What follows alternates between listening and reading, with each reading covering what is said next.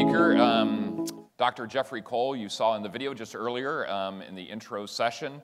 Um, he's with the Center of the Digital Future at uh, the University of Southern California, Annenberg School of Communication. And uh, I think we're, uh, the title of the session is Content Platforms and the Future of Consumption. So, Dr. Cole, welcome. Big round of applause.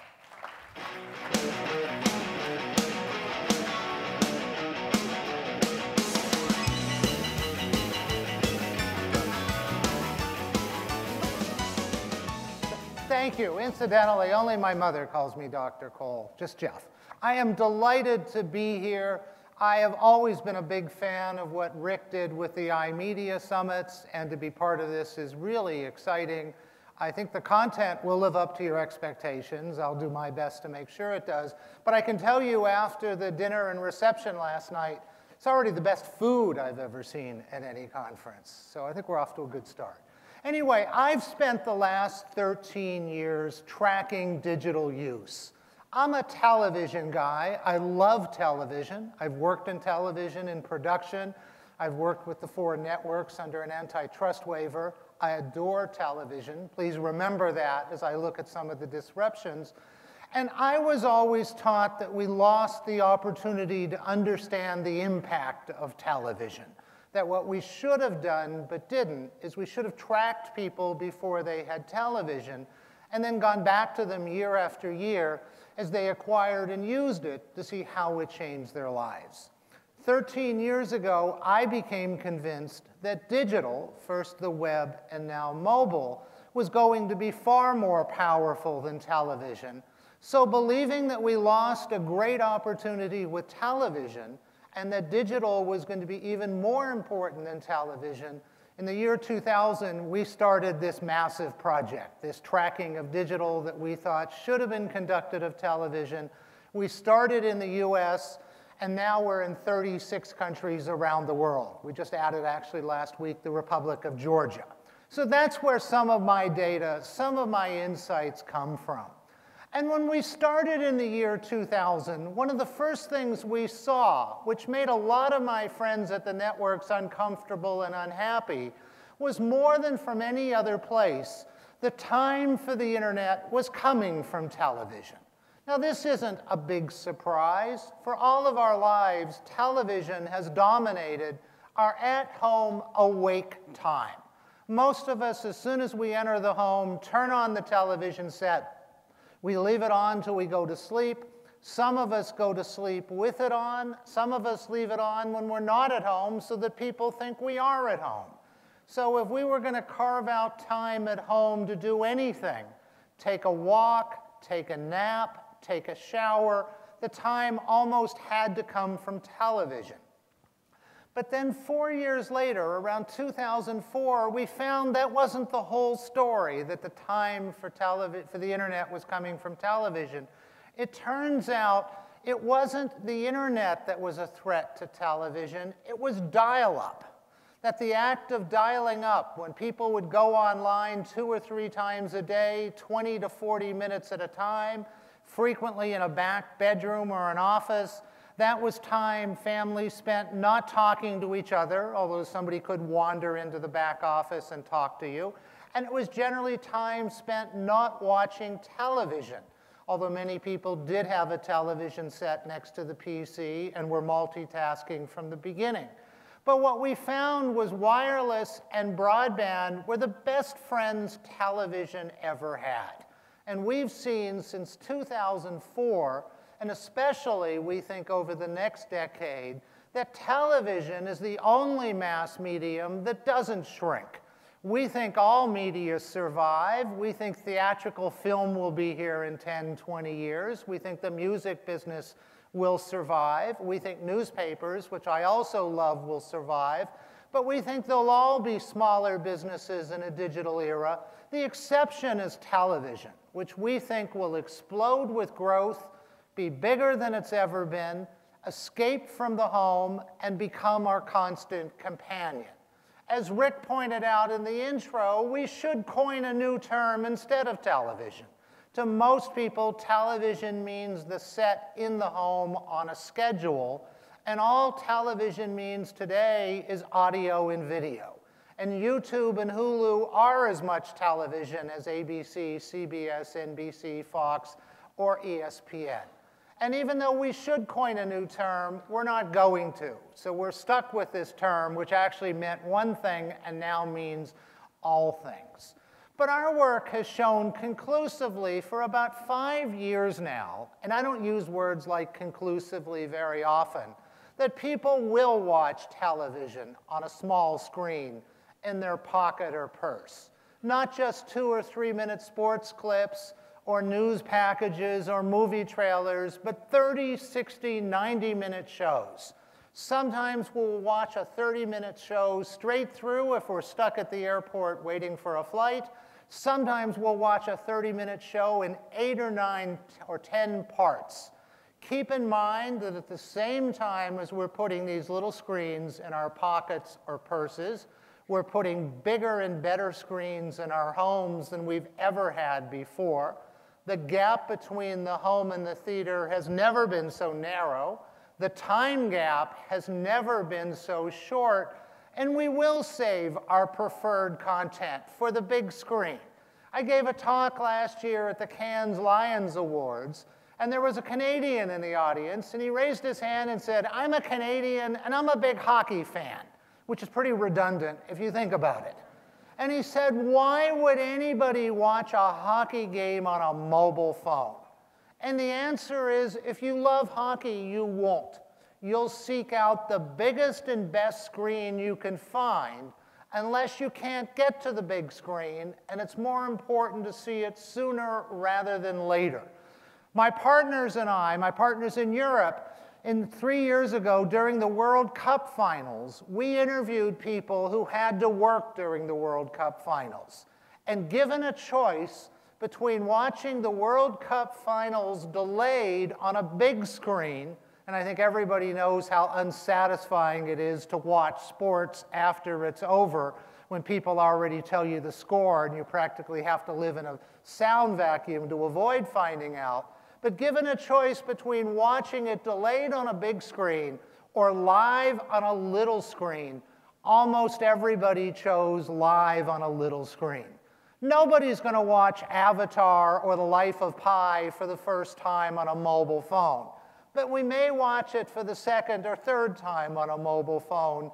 And as we do, something truly revolutionary happens with television. It escapes from the home. Television never really existed outside the home until now. The exception's the hospital. If you're sick, that's your home. The bar, for some people, that's their home.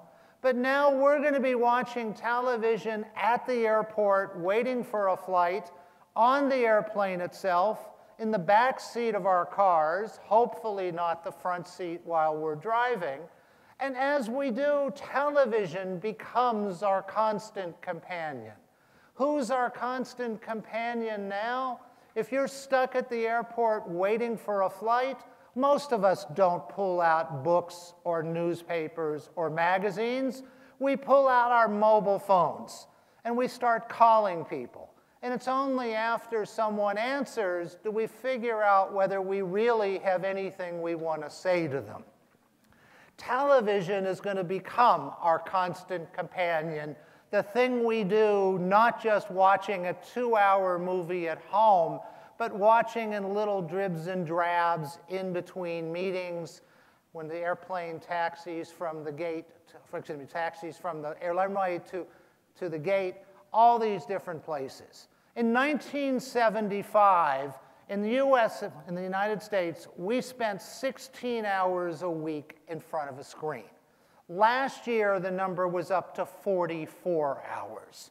More importantly, we think it'll be at 55 hours in the next three to five years. But forget the prediction for a minute.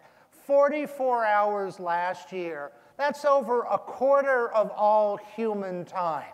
If you factor out sleep, that's about a third of all time. And we know that teenagers, that 80% of them sleep next to their mobile phones. The only time they're not in front of a mobile phone is when they're in school and when they are asleep. and I'm not so sure they're not in front of a phone when they're in school. They certainly are during lunch and recess. And if you ask them why do they sleep next to their mobile phones, they'll give you a very simple, straightforward answer, as most of you know who have kids. It's their alarm clock. We and a lot of other people learned 10, 12 years ago teenagers weren't wearing watches. I made what I thought was a silly comment in 2002, and I guess it didn't turn out to be so silly. I said in 2002 that now the entire jewelry industry, not to mention the economy of Switzerland, is waiting to the answer to the question will they start wearing watches as they get older? Well, we've been tracking them for 13 years. We have people who were 30 today who were 17 when we started. They're still not wearing watches. Incidentally, just a slight digression on that. Uh, in New York City, as most of you know, crime rates in New York City have gone down miraculously to historically low levels. But in January, Mayor Bloomberg reported that for the first time in 15 years, technically crime was up, but the singular explanation for crime going up was iPhone thefts. And one of my friends explained to me, I never thought about this, do you know how you steal an iPhone? You walk up to a teenager and you say, Do you have the time? And then they reach in their pocket, take out their phone, look at the time, and essentially they're just handing it right there and saying, Take it, although not literally. We're also seeing the ratings for live television events climb to records they've never seen before. Last year's Super Bowl, even though it was only 1 14th of size video, Last year's Super Bowl became the highest rated television program of all time. This year's Super Bowl just down a little bit. Last year's Super Bowl broke the record of the 2011 Super Bowl as the highest rated television program of all time. And that broke a 28 year record, which was the last episode of MASH in 1983. But it's not just the Super Bowl, we've seen the ratings for the Olympics. We've seen the ratings for the World Cup, and it's not just sports, it's been award shows. The ratings for live events continue to climb. And the reason for that is simple co viewing, watching television with other people. The difference is until now, to watch with other people, the other people had to be in the room with us. Now we're watching when the other people are anywhere, whether it's in the next bedroom, whether it's upstairs, or whether it's around the world. Watching through our mobile phones, our internet enabled television sets. I actually believe the little crawl at the bottom of the screen that came into fashion after 9 11 to provide a supplemental news source, I think that's going to be replaced very soon by a social networking crawl where you and your friends can plug in through your mobile phone or your internet enabled television set how you're feeling about what you're watching, and we can see what our friends who aren't with us think as we watch live events together.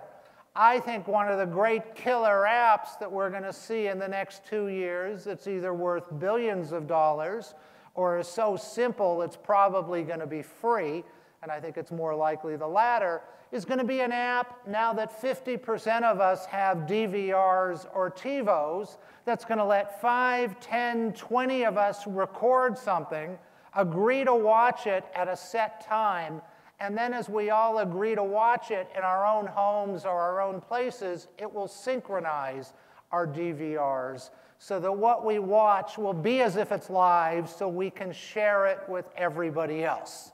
Now, one of the ways we do this, of course, one of the major ways is through tablets. And in the work I do, I think iPads are transformational. Invite me back in a year or two, and I might amend that to tablets are transformational. But so far, we think it's iPads. Samsung, Hewlett Packard, Motorola, RIM have all had three years to try to catch up with Apple and the iPad, and none of them have. The only people who have caught up to Apple and the iPad are Apple themselves with the iPad 2, the iPad 3, even though they didn't call it that, and the unexpected delivery of the iPad 4 last fall.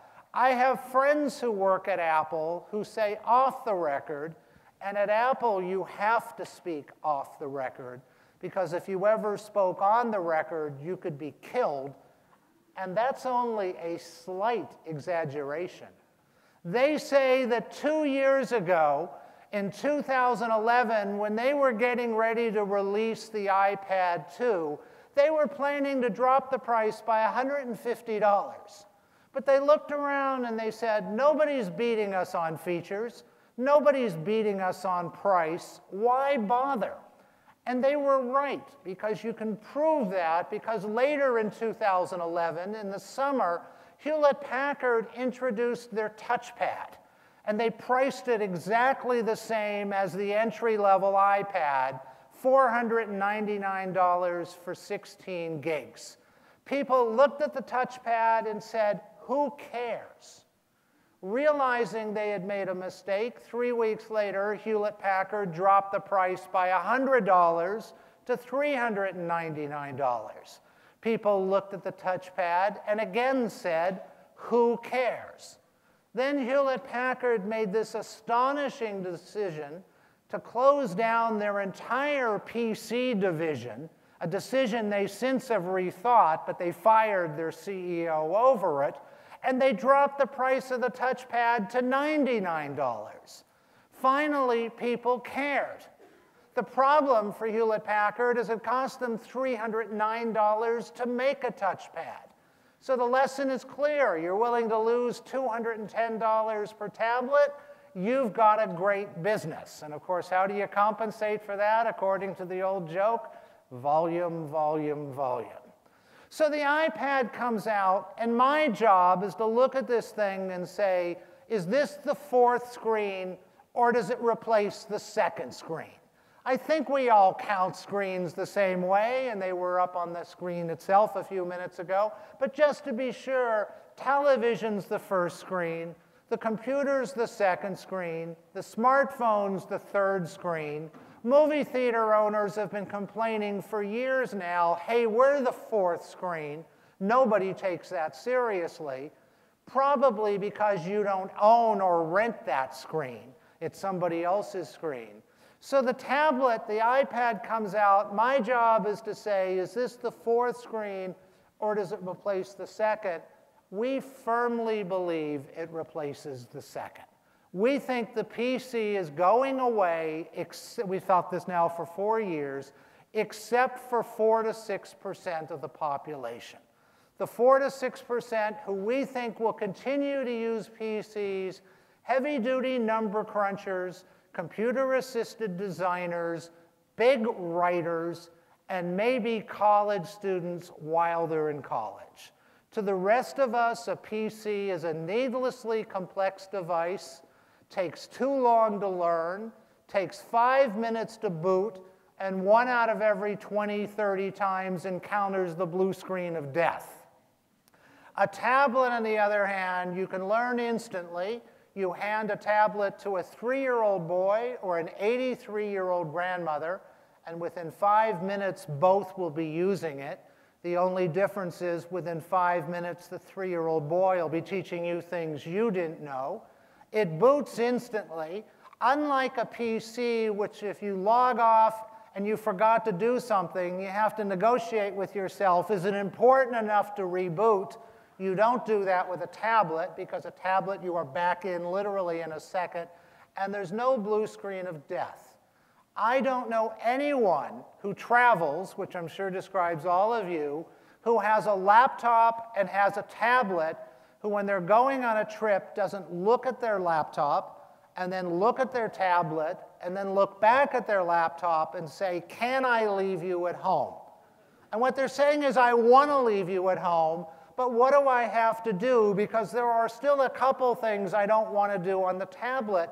But keep in mind the limitations of the tablet come not from the device, they came from the stubbornness of Steve Jobs. The refusal to have Adobe Flash, there's no reason an iPad can't have Adobe Flash. That was Jobs declaring war on Adobe, a war he won just before he passed away. The refusal to have a USB port, Jobs just wanted a walled garden. You could easily put a USB port. And Tim Cook has already gone over or done things Jobs didn't want because Jobs used to make fun of the idea of a mini iPad. And then after he died, we saw a mini iPad. Walter Isaacson, Jobs' biographer, says that Jobs' fingerprints will be on everything that comes out of Apple for 24 months after his death. Well, we're now in month 18 which means the iPhone 5S, which we may see over the summer, will still be a jobs innovation, but that will be near the end. And Apple's now being held to this standard of not just making great products, but making game-changing products. No one has come up with three game-changing products in 10 years, but now the fear is there, is there are no more. We'll see if there's one more that comes from Steve Jobs before October.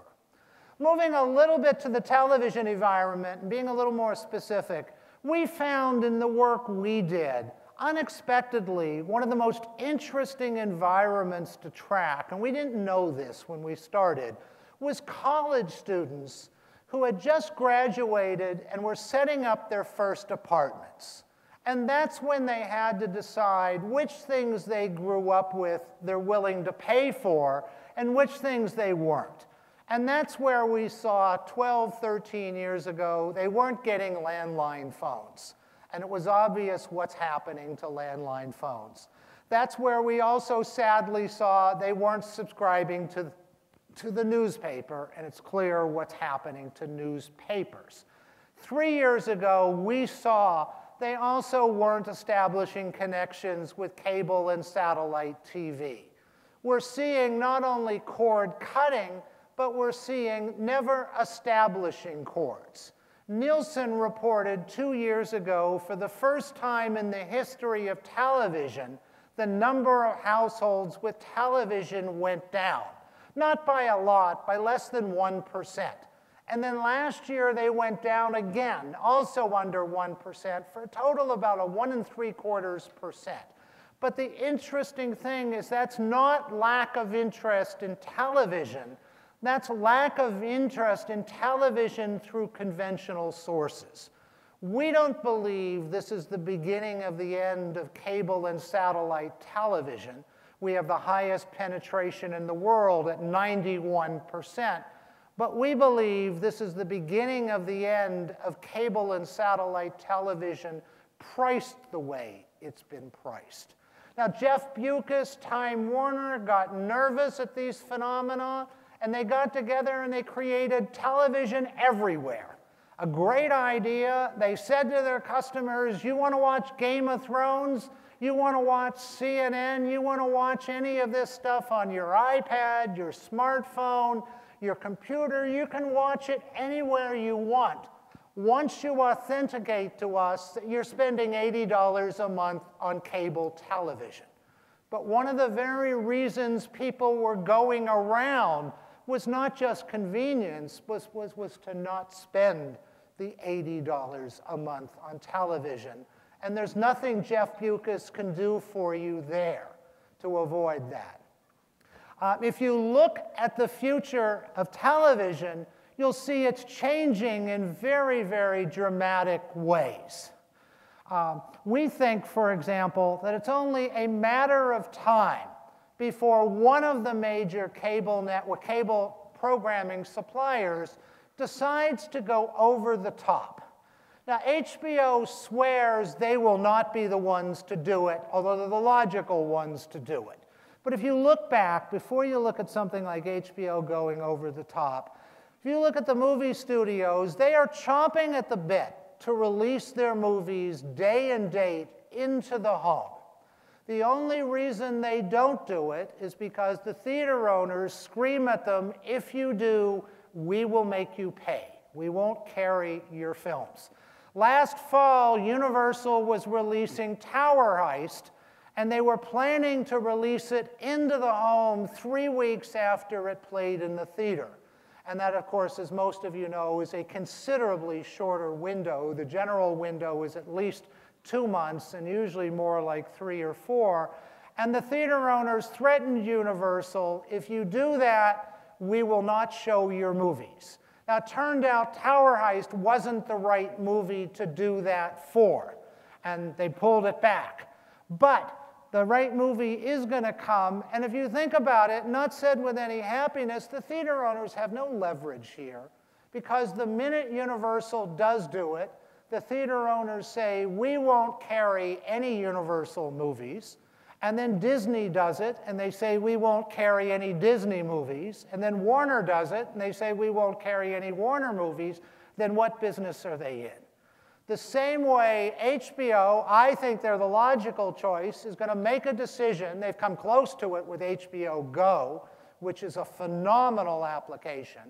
But I think it's a matter of time. They say no before they sell HBO directly to consumers. Right now, we pay $15 a month to the cable company. Half of that goes to HBO, half of that goes to the cable company. HBO can sell directly to you. It does this now. It started doing it three months ago in the Nordic countries, but they didn't have cable companies and a legacy to offend back in the cable companies. But HBO can sell directly to the consumer $11, $11.50. They decide, they make an extra $4. The consumer saves $2.50. And then the whole system breaks. Because something really interesting happened. I don't know how many of you followed this. Every year, several times a year, we now have these games of chicken between the cable companies or the satellite companies and the programs, program providers over license fees. The networks want more and more money out of license fees every time they renegotiate. The cable, the programmers want more. And last fall, the most recent example of this was a game of chicken between Viacom and DirecTV. Viacom, of course, had Comedy Central and Jon Stewart and Stephen Colbert, Nickelodeon, MTV, and they got into a fight with Direct, and Direct stopped carrying their programming. Now, normally when that would, something like that would happen, the cable companies would swoop down, put ads in the newspapers and say, Dear DirecTV customers, you want all the programming you love, switch to cable. But this time they supported their arch enemy, DirecTV. And the reason they supported their arch enemy is because they all know that every year, every cable programmer who's got programming people like are going to come back to them and demand more money. Going to be at least 10% increases every year, none of which go to the cable company. And every time they raise rates, more people are going to cut the cords. We also have seen on the horizon, I don't think it'll survive ultimately through the courts, but Barry Diller's Aereo, which has survived two court challenges already. The networks call it theft, but Diller provides a service in New York where you can get just the broadcast networks and a few other local channels uh, through your internet connection. Last week, you may have seen Chase Carey threaten that if Aereo survives, they'll take the Fox network and take it off air. And keep in mind, they'd only lose 9% of their viewers and go directly uh, through cable systems. But I think going to cable is the wrong move at the moment. This is all going to break, and the big loser, the only one, is the one who's going to lose the most, sadly, and this is not said with any happiness and with great respect to what Rob was saying before, but the biggest loser is ESPN because ESPN will never be able to replicate what it has now, which is 100 million households paying $5 a month or $6 billion a year plus advertising. ESPN is phenomenal. If you look back in the mid 90s, Viacom bought CBS for $5 billion. Disney bought ABC for $18 billion. And when, they, when Disney bought ABC, CBS was a better network. The difference between the 5 billion and the 18 billion was ESPN. ESPN clearly, as you could tell from Rob, has a phenomenal strategy with all of its other platforms, but its ability to collect a half a billion dollars a month, we think is coming to an end. So as you look at the, I could talk about all this stuff forever, as you could probably tell, but as you look at this entire universe of programming, never has there been so much good programming and never has there been so much bad programming on television at the same time. But we really are living in the era that we've heard for the last 20 years that content is king. But I would argue in this decade and beyond, if content has been king, then in the future, pardon the deliberately inappropriate grammar, but in the future, content is kinger. It has never been more important, and that's all that matters. The delivery system is irrelevant. I appreciate your time. I will be around for the next two days. Anyone who doesn't like what I said or wants to challenge me or just get more information, it's a pleasure to be here. Thank you very, very much.